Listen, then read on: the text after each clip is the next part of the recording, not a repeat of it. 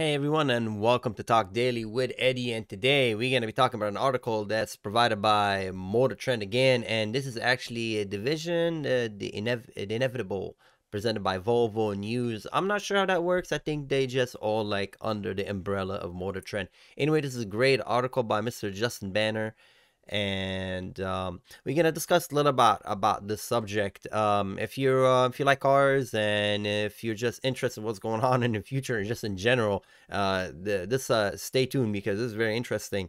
Uh, this concept because um, basically the bottom line is BMW fifth generation electric motor is gonna be brushed. All right, let's give this a pause. Brushed. And if you don't know what does that mean, well, we're gonna explain it a little bit. Uh, the electric motors, uh, for example, is an electric motor shows, and this is brushless. I don't know if you can see. There's actually a magnet uh, in there. Um, so basically, um, um, gonna read a little bit here. It says we hinted an impression power outlet of the BMW iX M60 motor in our first look, but the fifth generation electric motor technology deserves its own examination. That's because both extremely high tech and a little bit old school and they're referring to the fact that it's going to have a brushed motor. And uh, uh, for me from my background in chemistry i can tell you that they mean they're not going to use magnets. And uh, let's go to this. So it says if uh, they're mentioning here that uh, if you play with a if you play radio controlled rock crawlers or have taken apart the electric drill, you're familiar with the brushed motor. Yes, there you go.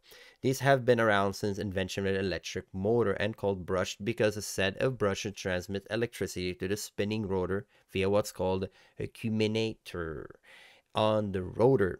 The so the point is here's a picture of it. Um, you can also Google it. I mean, it's amazing. There's a lot of videos out there explaining to you how it works. It's not, we're not going to go too much on details on how it works, but what we're trying to uh, get to the point here is see all these magnets all the way around. That's what they're talking about. The brushless, like here, if you have any power tools, most of them are brushless. They even advertise it. Oh, it's brushless motor. Brushless motor is great. Why? Because brushes wear out brushes make contact. Anything that makes contact wears out. Uh, you, you should understand anything that moves, anything that has friction eventually wears out because the two contacts, the two surfaces making contact, and they do wear out. Uh, here, so the, to the point, the rotor can include two or many more electromagnetic fields, which energized by a pair of contact and brushes, and that's the that's the point of contact. Uh, on accumulator, uh, likewise, the motor uses a few of as two brushes, but can be used as many brushes necessary. Long story short, brushes. So you're telling me, okay, Eddie, what are you talking about? What's the point of this? Why, why are you mentioning? Because BMW, are, they're including brushes. They're saying, you know what, we're going to step away from the magnets. Um, so brushless motors either utilize permanent magnets in their component that spin or induce a magnetic field by winding a wrapped uh, around a ferromagnetic metal. Ferromagnetic metal in the spinning component. Ferromagnetic, basically, that's magnet. Um, it's basically a metal that holds the magnetic um, orientation. So the point is, what's why is BMW doing this? Uh, is because simply rare earth metals. Rare earth metal. I'm just gonna cut down to the whole point of this whole article. Rare earth metals. They don't have enough magnets. And yeah, magnets does cause friction because a magnet doesn't stop. You can't just stop a magnet from existing. So as the motor is spinning, there's some magnet and there's so there's some resistance. That's why they're using clutches to separate that. But BMW is simply saying, okay, we're just gonna make a brushed motor, but it's gonna be concealed in a very closed, confined area that dust is not gonna get into it. Um, and how long would that magnet last? For example, if here they ask them how, excuse me, how long would that electric motor last? And uh, the article said we asked BMW about the life expectancy of these brushed and uh, accumulator and what happened as to the dust as they wear. While they couldn't give us a lifetime estimate of the brushes, they did ensure us that brush motor are in enclosed and sealed compartment, eliminating dust contamination inside the starter rotor wiring. So they put them in enclosed, confined area but uh, I'm I'm gonna let you guys know. Then the, main reason they're doing this is um, because of this. And uh, are you guys ready for some science? Because there you go. Do you remember this? Remember the periodic table? Oh yes, sir. I love chemistry. And uh, do you remember? Do you remember where are the rare earth element right here? These are the rare earth uh, element and also lanthanoid series. They're not really that rare as far um, So don't think that oh they're very precious and like oh they're they just give them that name initially, okay? Um, but there there's a there's a lot of this uh, metals laying around, but unfortunately, where do you get all these metals from? And the answer is China. China, I mean, this is production. Well, this is kind of old. This is 2020. This is old, and it didn't change. It doesn't change. Okay, it's not that. Oh wow, we discovered something new. China produced in 2020 140,000 metric ton of this stuff. While second, and by far, far, far away, second place is the United States. Less than a third of the production of China. I mean, it's very little, 38,000. Very, very, very little. And I mean, they increased from 28,000 the previous year, and probably that's 2019. Um, it China, it just manufacturing even more. China was 132 metric ton the previous year, then went to 140, and I bet you right now it's probably even increasing. Probably not by a substantial amount because it's still a market. Uh, I don't think I want to flood the market, but that's and this according to Rare Earth Investigative News. I'll put the link of everything I'm talking about in uh, um the description below, and uh, you know of course a periodic table. Um, and here uh, Britannica. Um, I'm gonna get a quote from Britannica. I think it's really Britannica is really awesome. Um. I encourage you guys to kind of read it, but uh, I'm to read a little quote right here from them. It says, um, regarding the rare earth metal, because the rare earth metal is what used to make the magnets, okay? You can't, they're making a brushless because they don't need to use the magnets, okay? Um, so I'm to describe a little bit what's the rare earth metals.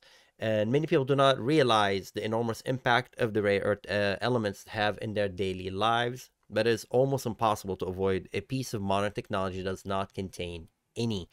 Uh, even a process, uh, basically, so talking about Flint, uh, your smartphone, automotive, um, everything that you use has that in it. Most technology, LCD screens, your computer has it. Dozen electric motor in the typical automotive as well as speakers of sound system use neodymium, iron, boron, permanent magnets. Again, magnets. Electrical sensors imply ytterbium stabilized zirconia to measure and control oxygen content in the fuel.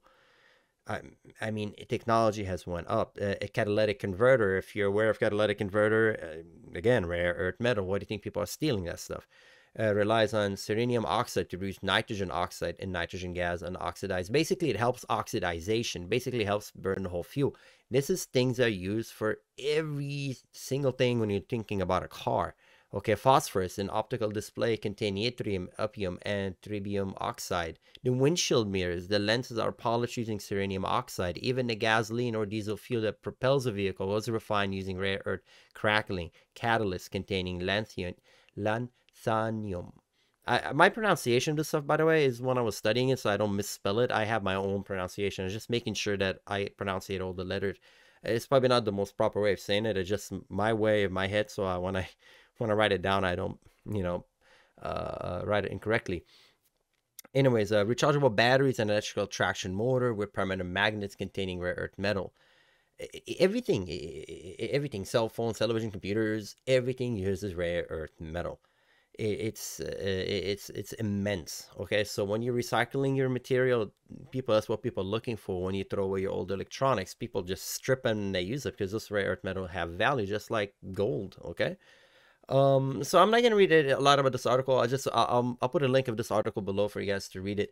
But for you to understand how this impacting everything because everything rotates around the the, the market the cost of the market and the germans are thinking that you know what? In germany we don't have that many. If you look at the top 10 country production United States at 38, Myanmar at 30,000, Australia 17, Madagascar 8,000, India 3,000. Look how it trickles at the end. Vietnam 1,000, Brazil 1,000. That's it.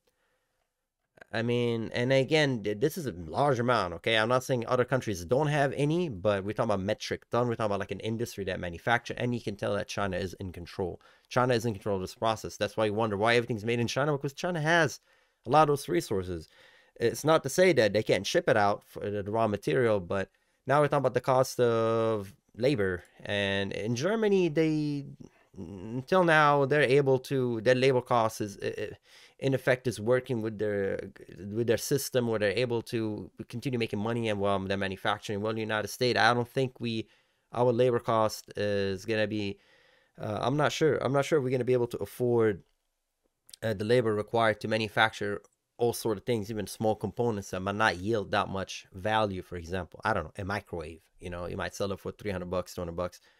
I'm not sure. Uh, what you can get a one made in China maybe for 60.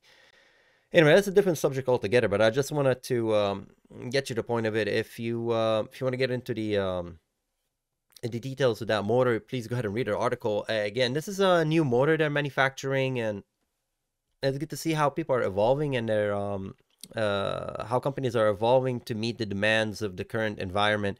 Um, uh, with the lack of uh, I don't say the lack of, but um, they're looking at okay, what's other options we have? How can we reduce the cost uh, from our end?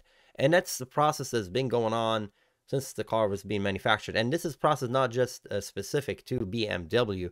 Uh, it's definitely going across all spectrum of manufacturing it, uh, um, uh, manufacturers because they don't want to. Um, if they can save money, they will go save money. And uh, I'm not saying that uh, China is doing anything wrong or it's just what it is. It's just they have this material. Good for them. They have it. Um, so it makes sense, right? I mean, if you want to make rum and uh, and you live in I don't know uh, Alaska, why not manufacture rum when in the tropics where you have the sugar cane? So it's the kind of same concept.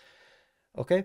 Anyways, everybody, uh, please do check this article. It's very interesting. That's the future of cars. Uh, if you're a gearhead and you like cars, that's the thing you're gonna be working on in years to come. You're gonna probably, oh, I'm I'm gonna change the brushed motor on my, which is great. I, I can imagine it'll be amazing, uh, you know, the day when we get to work on these cars because uh, it's gonna be much cleaner. Um, the only thing is probably don't get zapped, you know. Uh, but uh, it's it's fun to see that they're, now they're looking at the longevity of this motor because that is the future now. I, I'm I I, mean, I know there's hydrogen, um, there is uh, biodiesel, etc. But it seems that uh, uh, the inevitable is um, EV, electric uh, vehicle. Um, uh, whether good or bad, I'm not, you know, I think it's just a good. And a couple of gears, I think it's reverse and forward.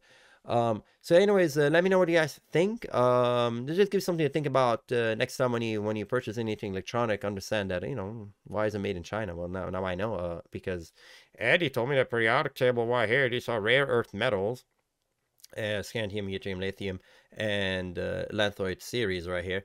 Um, and there you go. Most of it is made. Uh, most of it is excavated from China. Um, so yeah.